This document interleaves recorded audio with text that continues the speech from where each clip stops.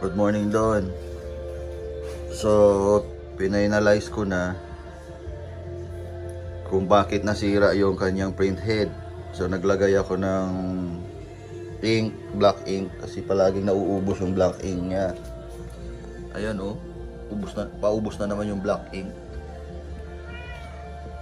Tapos nung chinek ko na yung tangke ng black ink, yung gilid niya dito, kapag binuksan mo to makikita mo yung diaphragm na uh, papel. Pinamp ko ng pinamp doon sa injection. Akin na nga yung injection card, yung binigay sa akin na injection para marinig ni Don Don. Tapos yung, o yun oh. Tapos ito, lumalabas yung ink dito sa likod. Kaya pala,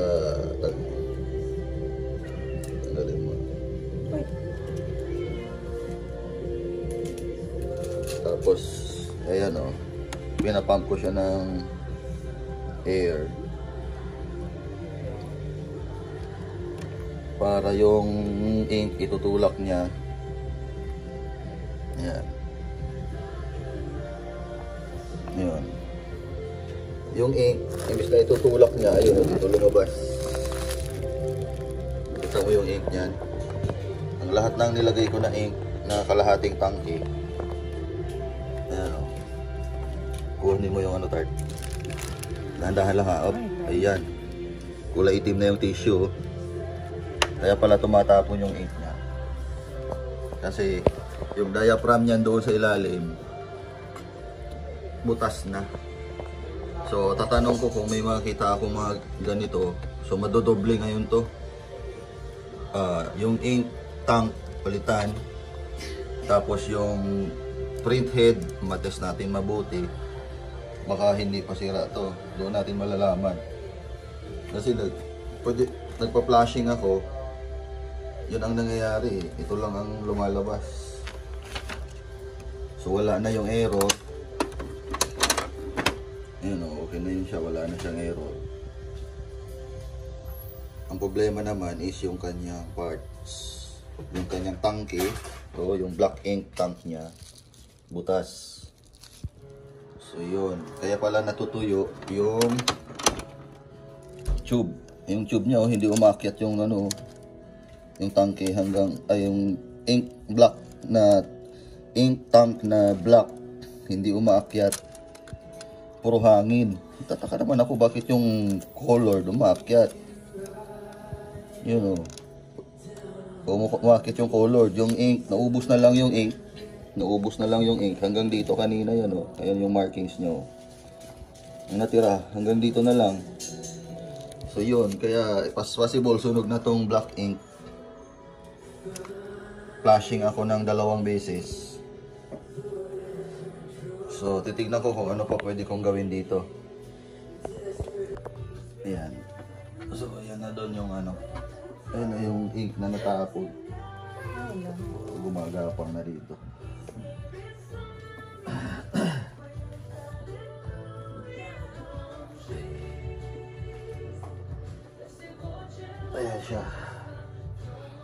Pinapaubos ko na lang. Kasi na ba yung ibang kape natin? Ayan, tutok na yung diaphragm niya. Ayan doon, ah, tinry kong i-operahin. So dito, walang tagas sa color. Okay naman. Kailangan ang dami ng ano kailangan ng baklasin at try lang natin kung may balik ko to sa dati. Kung may balik ko siya sa dati, hindi ma- makakatipid tayo ng 10,000. Yan o, yung ink niya. oh. Grabe, daming ink oh. Higupin, papahigop ko pa yan. Hindi na rin yan pwede gamitin. Puro may halong alikabok na. So yung tangke, tinakpan ko yung mga butas niya sa diaphragm. Titignan ko kung gagana siya. So palitan natin ng, imbis na magpalit tayo ng tangke, wala naman ng tulo yung tangke. Oh. Hindi na tumutulo. Oh. Ayan, oh. kita mo yung ano niya, yung, yun, oh, tumatakbo na yung ano, ink. Ayan. Ayan o. Yung ink, gumagapang na yung ink. Ayan o. Yun. Dito siya tumutulo. Yan sa butas na yan. Tsaka sa butas na yan. So, sealed naman na yung mga ano, butas. Itong iba. Sa ilalim wala naman tulo. So, iba, linisin ko muna tong pinaka-printer. Tapos ibabalik ko na yung mga tinanggal ko na mga cover niya. Ito. Lipat lang natin to. Hinugasan ko na to kasi ito lang naman yung pwedeng hugasan. So, dyan muna siya. Mga ibang parts. Dyan lang muna yung ibang parts. Hindi naman nakakamba lang sa kitchen. Para matuyo. So, balik tayo dito sa ink.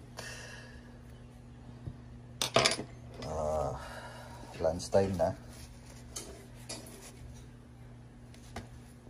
Linisin muna natin mga kalat dito.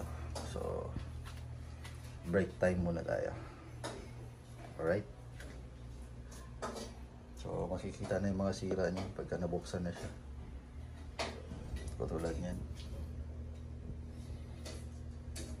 Okay. Ito yung mga ibang pyesa niya. Kabit natin. Kompleto pa naman. So, brought to you by RC Cars Group Club Cavite and Dunamis Computer Systems. Bye-bye. Okay, mga Kadunamis RC, uh, com- uh, Kadunamis Computer Systems, mga ka-Pinoy Tech. Sabihin na natin to kung madumi pa rin yung kanyang uh, roller. At kung madumi pa rin ang may ayun, may konti pa oh. May konti pang guhit. So dito lang mano-mano lang muna natin siya. Natin kung uh, successful ang pagka manual cleaning. Tawag dito ay deep cleaning. So ayan, wala na yung tinta, wala nang butas, natapalan na natin yung mga butas. Wala namang gumagapang na butas ah, dito sa kabilang side. So, okay na. Tingnan natin ang ganyan lang naman yan sa pag nag-print. So, wala nang mga smudges. Nalinis na natin mabuti deep cleaning. So dito wala na. Hanggang sa matapos.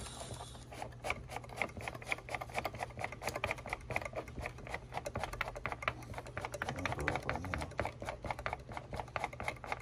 Yan, wala na.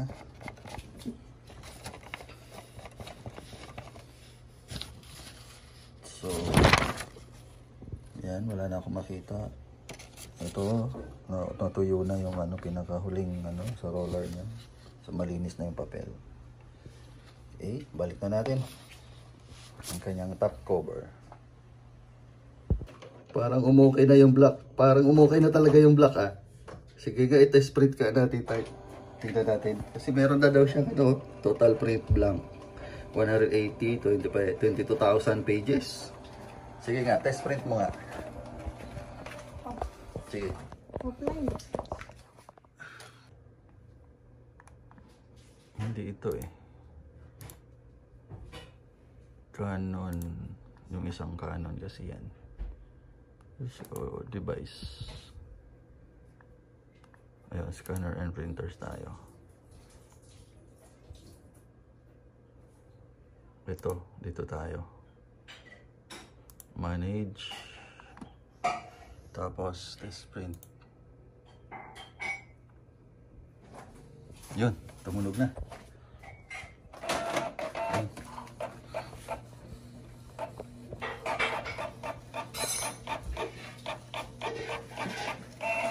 Yun!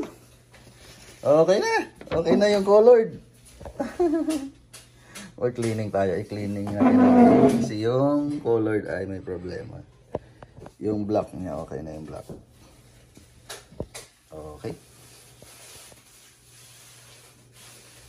Nice. Doon, ah, pinipilit ko mag deep cleaning. Yan, malapit na maubos yung ink na binili natin. Pero meron pa naman natira. Ayan, deep cleaning natin siya para malaman natin kung ano pang problema.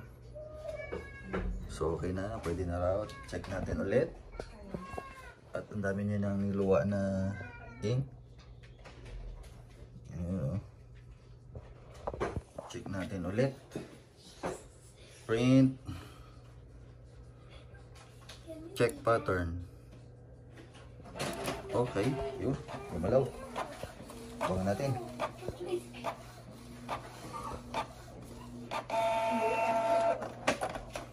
Wala na talaga. Kailangan na talagang palitan siguro color nito. O i-clean up pa natin ng isa pa. Sige nga, i-deep cleaning pa natin ng isa pa. Okay na yung black. Ganda na ng ano ng black. Deep cleaning ulit natin. Deep cleaning, color lang. Start. Okay. Ayan. So, antayin natin siya na matapos. Alright. Ayun. Deep cleaning siya.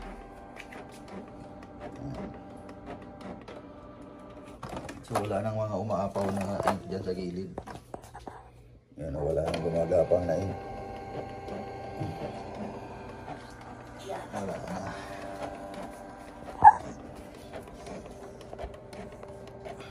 Dito na lang sa ano niya, sa exit. Ayan o. Malabas yung mga ink pag nag-clean up siya. So, dapat dyan lang lumalabas yung ink, hindi kung saan saan.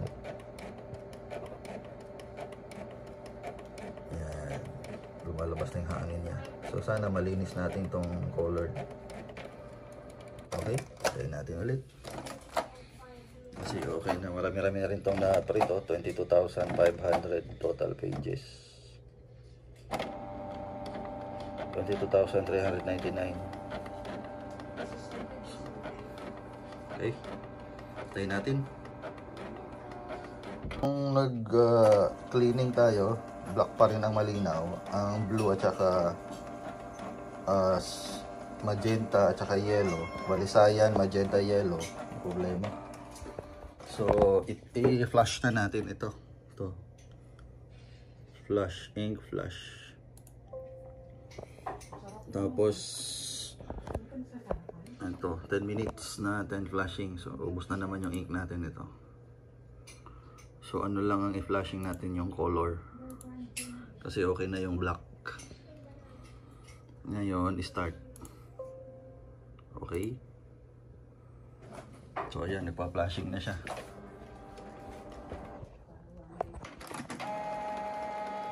Ayan. Binubomba niya na yung ilalim. Pina-flashing na yung color. Ayan. Labas niya lahat ng... Ayan, ito mauubos na yung ink natin. Ah, meron pang konti. Nagka-plug kasi. Kaya tignan natin kung kaya niyang linisin yung colored. So yun yung mga lumalabas na mga ink. Ang dami oh.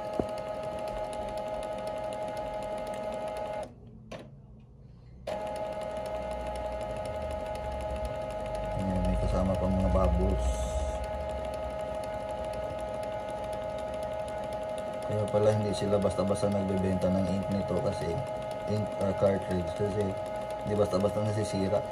Mayroon sila siyang sariling pump sa loob. Binobomba niya.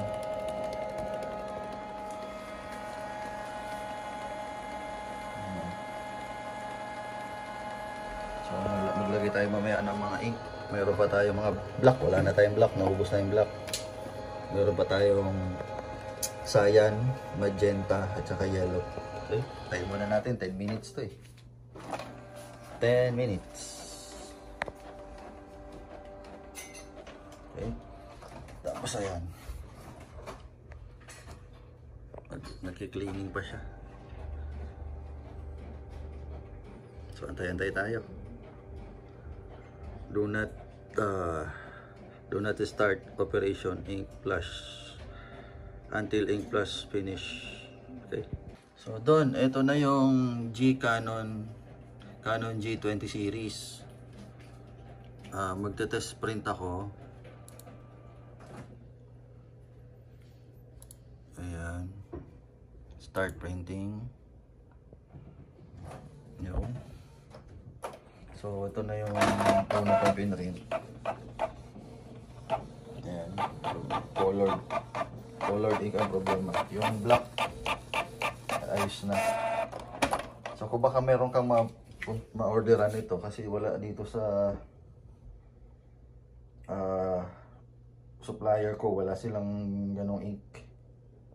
Yan. oh. Colored na lang. Kasi pag nag-print ako ng colored, ayan, i-test ko yung